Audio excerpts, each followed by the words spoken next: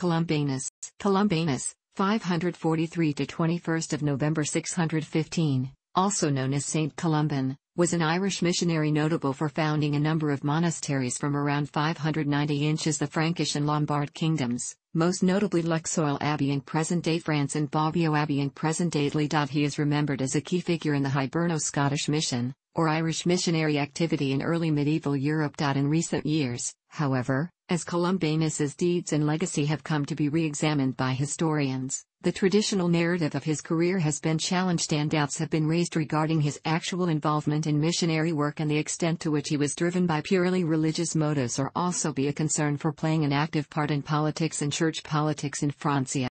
Columbanus taught an Irish monastic rule and penitential practices for those repenting of sins, which emphasized private confession to a priest, followed by penances levied by the priest in reparation for the sins.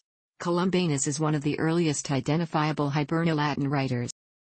Most of what we know about Columbanus is based on Columbanus' own works, as far as they have been preserved, and Jonas of Bobbio's Vita Columbani, Life of Columbanus, which was written between 639 and 641. Jonas entered Bobbio after Columbanus' death but relied on reports of monks who still knew Columbanus. A description of miracles of Columbanus written by an anonymous monk of Bobbio is of much later date. In the second volume of his Acta Sanctorum OSB, Mabillon gives the life in full, together with an appendix on the miracles of the saint, written by an anonymous member of the Bobbio community. Columbanus, the Latinized form of Columban, meaning the white dove, was born in the kingdom of Meath, now part of Leinster, in Ireland in 543, the year Saint Benedict died at Monte Cassino. Prior to his birth, his mother was said to have had visions of bearing a child who, in the judgment of those interpreting visions, would become a remarkable genius. Columbanus was well educated in the areas of grammar, rhetoric, geometry, and the Holy Scriptures. Columbanus left home to study under Sinell, abbot of Cluaninis in Lough Under Sinell's instruction, Columbanus composed a commentary on the Psalms. He then moved to Bangor Abbey on the coast of Down, where St. Comgall was serving as the abbot. He stayed at Bangor until his 40th year, when he received Comgall's permission to travel to the continent. Columbanus gathered twelve companions for his journey, St. Attala, Columbanus the Younger, Cummin, Domgal, Diacalis, Ogan, Eunan, St. Gall, Gurgano, Libran, Lua, Sigisbert, and Waldoleno, and together they set sail for the continent. After a brief stop in Britain, most likely on the Scottish coast, they crossed the Channel and landed in Brittany in 585. At Saint-Malo in Brittany, there is a granite cross bearing the saint's name to which people once came to pray for rain in times of drought. The nearby village of St. Coulomb commemorates him in name. Columbanus and his companions were received with favor by King Gontram of Burgundy, and soon they made their way to Annegray, where they founded a monastery in an abandoned Roman fortress.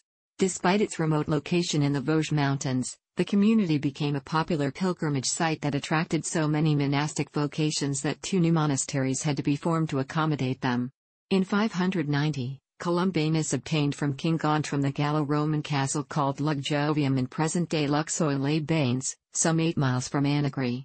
The castle, soon transformed into a monastery, was located in a wild region, thickly covered with pine forests and brushwood. Columbanus erected a third monastery called Ad Fontanas at present-day Fontaine-les-Luxeuil, named for its numerous springs. These monastic communities remained under Columbanus' authority, and their rules of life reflected the Irish tradition in which he had been formed. As these communities expanded and drew more pilgrims, Columbanus sought greater solitude, spending periods of time in a hermitage and communicating with the monks through an intermediary. Often he would withdraw to a cave seven miles away, with a single companion who acted as messenger between himself and his companions. During his 20 years in Gaul, in present-day France, Columbanus became involved in a dispute with the Frankish bishops who may have feared his growing influence. During the first half of the 6th century, the councils of Gaul had given to bishops absolute authority over religious communities as heirs to the Irish monastic tradition. Columbanus and his monks used the Irish Easter calculation, a version of Bishop Augustalis's 84-year computus for determining the date of Easter, quartodecimanism, whereas the Franks had adopted the Victorian cycle of 532 years. The bishops objected to the newcomers' continued observance of their own dating, which, among other issues, caused the end of Lent to differ. They also complained about the distinct Irish tonsure. In 602, the bishops assembled to judge Columbanus, but he did not appear before them as requested. Instead, he sent a letter to the prelates, a strange mixture of freedom, reverence, and charity, admonishing them to hold synods more frequently, and advising them to pay more attention to matters of equal importance to that of the date of Easter.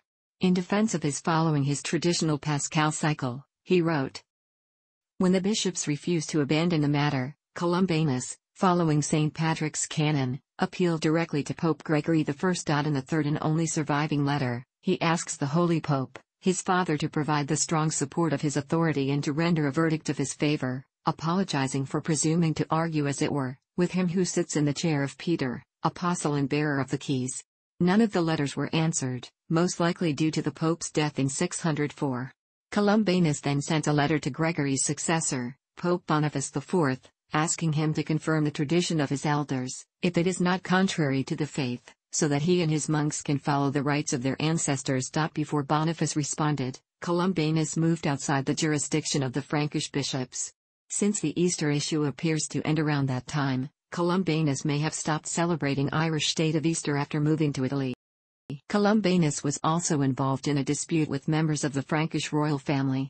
Upon the death of King Gontram of Burgundy, the succession passed to his nephew, Childebert II, the son of his brother Sigebert and Sigebert's wife Brunhilde of Austrasia.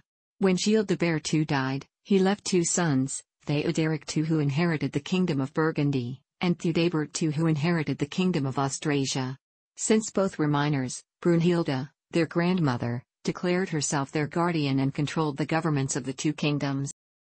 Theoderic II venerated Columbanus and often visited him, but the saint admonished and rebuked him for his behavior. When Theoderic began living with a mistress, the saint objected, earning the displeasure of Brunhilde, who thought a royal marriage would threaten her own power. The saint did not spare the demoralized court, and Brunhilde became his bitterest foe. Angered by the saint's moral stand, Brunhilde stirred up the bishops and nobles to find fault with his monastic rules. When Theoderic II finally confronted Columbanus at Luxeuil, ordering him to conform to the country's conventions, the saint refused and was then taken prisoner to Besançon. Columbanus managed to escape his captors and returned to his monastery at Luxeuil. When the king and his grandmother found out, they sent soldiers to drive him back to Ireland by force, separating him from his monks by insisting that Onlothus from Ireland could accompany him into exile. Columbanus was taken to Nevers, then traveled by boat down the Loire River to the coast. At Tours he visited the tomb of Saint Martin, and sent a message to Theoderic II indicating that within three years he and his children would perish. When he arrived at Nantes, he wrote a letter before embarkation to his fellow monks at Luxeuil Monastery. Filled with love and affection, the letter urges his brethren to obey Attala, who stayed behind as abbot of the monastic community. The letter concludes Soon after the ship set sail from Nantes, a severe storm drove the vessel back ashore. Convinced that his holy passenger caused the tempest, the captain refused further attempts to transport the monk. Columbanus made his way across Gaul to visit King Clothar II of Neustria at Soissons where he was gladly received. Despite the king's offers to stay in his kingdom, Columbanus left Neustria in 611 for the court of King Theudebert II of Austrasia in the northeastern part of the kingdom of the Merovingian Franks. Columbanus traveled to Metz, where he received an honorable welcome, and then proceeding to Mainz, where he sailed upwards the Rhine River to the lands off the Suabia and Alemannia in the northern Alps, intending to preach the gospel to these people. He followed the Rhine River and its tributaries, the Aar and the Limmat, and then on to Lake Zurich. Columbanus chose the village of Tuggen as his initial community, but the work was not successful. He continued northeast by way of Arbon to Bregenz on Lake Constance. Here the saint found an oratory dedicated to Saint Aurelia containing three brass images off their tutelary deities. Columbanus commanded Gallus, who knew the local language, to preach to the inhabitants, and many were converted. The three brass images were destroyed, and Columbanus blessed the little church, placing the relics of Saint Aurelia beneath the altar. A monastery was erected, Mehrerau Abbey, and the brethren observed their regular life. Columbanus stayed in Bregenz for about one year. Following an uprising against the community, possibly related to that region being taken over by the saint's old enemy King Theoderic II, Columbanus resolved to cross the Alps into Italy. Gallus remained in this area and died there 646. About 70 years later at the place of Gallus' cell the monastery of St. Gall was founded, which in itself was the origin of the city of St. Gallen again about another 300 years later. Columbanus arrived in Milan in 612 and was warmly greeted by King Agilulf and Queen Theodelinda of the Lombards. He immediately began refuting the teachings of Arianism, which had enjoyed a degree of acceptance in Italy. He wrote a treatise against Arianism, which has since been lost. Queen Theodelinda, the devout daughter of Duke Garibald I of Bavaria, played an important role in restoring Nicene Christianity to a position of primacy against Arianism, and was largely responsible for the king's conversion to Christianity. At the king's request, Columbanus wrote a letter to Pope Boniface IV on the controversy over the three chapters writings by Syrian bishops suspected of Nestorianism, which had been condemned in the 5th century as heresy. Pope Gregory I had tolerated in Lombardy those persons who defended the three letters, among them King Agilulf. Columbanus agreed to take up the issue on behalf of the king. The letter begins with an apology that a foolish Scot, Scotus, Irishman, would be writing for a Lombard king. After acquainting the Pope with the imputations brought against him, he entreats the pontiff to prove his orthodoxy and assemble a council. He writes that his freedom of speech is consistent with the custom of his country. Some of the language used in the letter might now be regarded as disrespectful, but in that time, faith and austerity could be more indulgent. At the same time, the letter expresses the most affectionate and impassioned devotion to the Holy See. If Columbanus' zeal for orthodoxy caused him to overstep the limits of discretion, his real attitude towards Rome is sufficiently clear, calling the Pope his Lord and Father in Christ, the chosen watchman, and the first pastor, set higher than all mortals. King Agilulf gave Columbanus a tract of land called Bobbio between Milan and Genoa near the Trebia River, situated in a defile of the Apennine Mountains, to be used as a base for the conversion of the Lombard people. The area contained a ruined church and wastelands known as Abovium, which had formed part of the lands of the papacy prior to the Lombard invasion. Columbanus wanted this secluded place, for while enthusiastic in the instruction of the Lombards he preferred solitude for his monks and himself. Next to the little church, which was dedicated to St. Peter, Columbanus erected a monastery in 614. Bobbio Abbey at its foundation followed the rule of Saint Columbanus, based on the monastic practices of Celtic Christianity. For centuries it remained the stronghold of orthodoxy in northern Italy. During the last year of his life, Columbanus received messages from King Clothar II, inviting the saint to return to Burgundy, now that his enemies were dead. Columbanus did not return, but requested that the king should always protect his monks at Luxeuil Abbey. He prepared for death by retiring to his cave one mountainside overlooking the Trebia River, where, according to a tradition, he had dedicated an oratory to Our Lady. Columbanus died at Bobbio on 21 November 615. The rule of Saint Columbanus embodied the customs of Bangor Abbey and other Irish monasteries.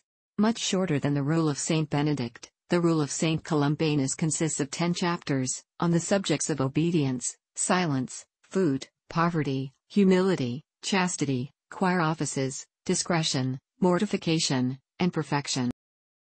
In the first chapter, Columbanus introduces the great principle of his rule obedience, absolute and unreserved.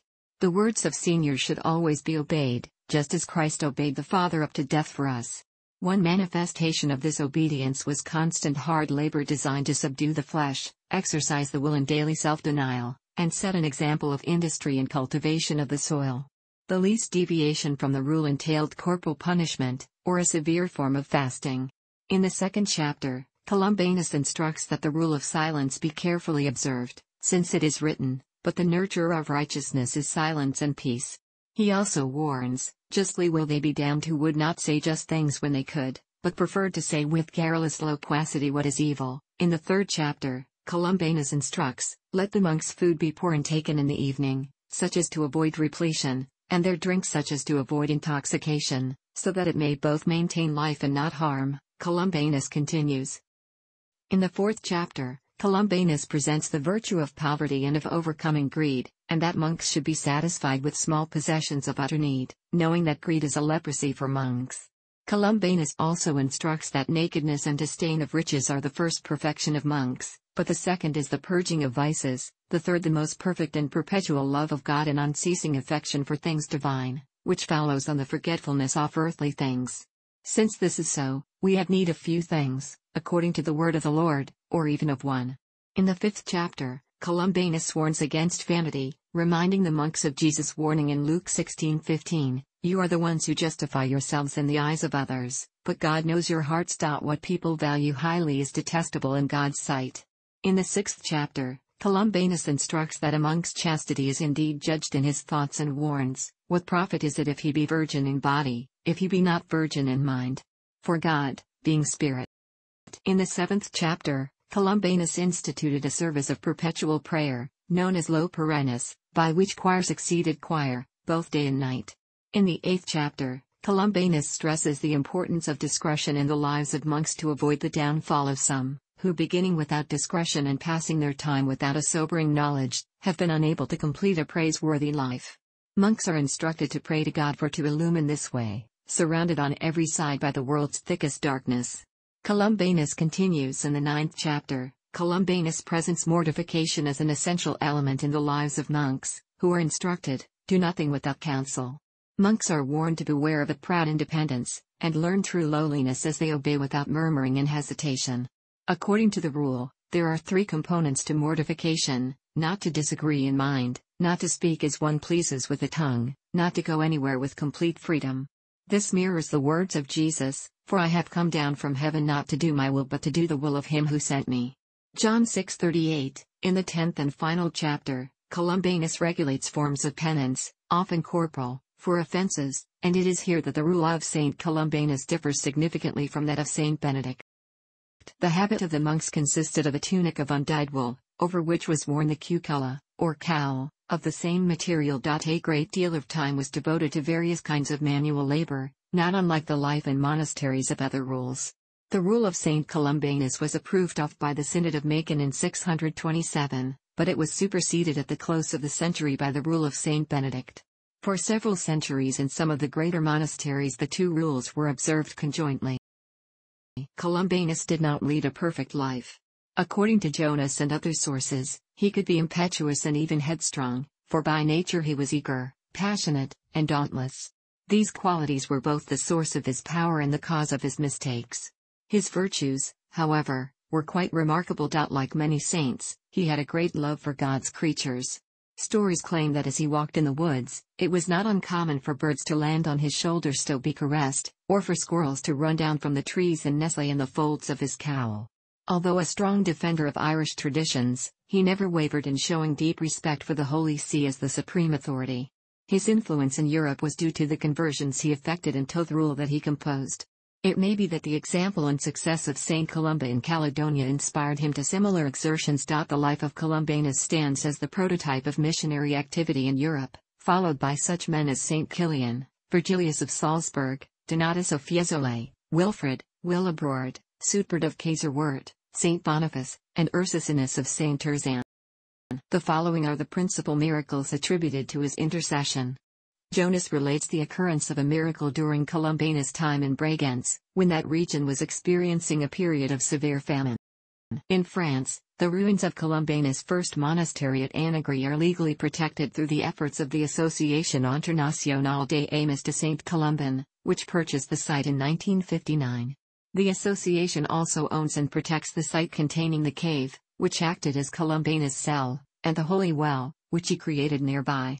At Luxeuil-les-Bains, the Basilica of St. Peter stands on the site of Columbanus' first church. A statue near the entrance, unveiled in 1947, shows him denouncing the immoral life of King Theoderic II. Formerly an abbey church, the basilica contains old monastic buildings, which have been used as a minor seminary since the 19th century. It is dedicated to Columbanus and houses a bronze statue of him in its courtyard. In Lombardy, San Columbano al Lambro in Milan, San Columbano Belmonte in Turin, and San Columbano Certénoli in Genoa all take their names from the saint. The last monastery erected by Columbanus at Bobbio remained for centuries the stronghold of orthodoxy in northern Italy. If Bobbio Abbey in Italy became a citadel of faith and learning, Luxeuil Abbey in France became the nursery of saints and apostles. The monastery produced 63 apostles who carried his rule, together with the gospel, into France, Germany, Switzerland, and Italy. These disciples of Columbanus are accredited with founding over 100 different monasteries. The canton and town still bearing the name of St. Gallen testify to how well one of his disciples succeeded. The Missionary Society of St. Columban, founded in 1916, and the Missionary Sisters of St. Columban, founded in 1924, are both dedicated to Columbanus. The remains of Columbanus are preserved in the crypt at Bobbio Abbey. Many miracles have been credited to his intercession. In 1482, the relics were placed in a new shrine and laid beneath the altar of the crypt. The sacristy at Bobbio possesses a portion of the skull of the saint, his knife, wooden cup, bell, and an ancient water vessel, formerly containing sacred relics and said to have been given to him by Pope Gregory I. According to some authorities, twelve teeth of the saint were taken from the tomb in the 15th century and kept in the treasury, but these have since disappeared. Columbanus is named in the Roman Martyrology on 23 November, which is his feast day in Ireland. His feast is observed by the Benedictines on 24 November. Columbanus is the patron saint of motorcyclists. In art, Columbanus is represented bearded bearing the monastic cowl, holding in his hand a book with an Irish satchel, and standing in the midst of wolves. Sometimes he is depicted in the attitude of taming a bear, or with sunbeams over his head. Thanks for watching. Don't forget like the video and don't forget to subscribe.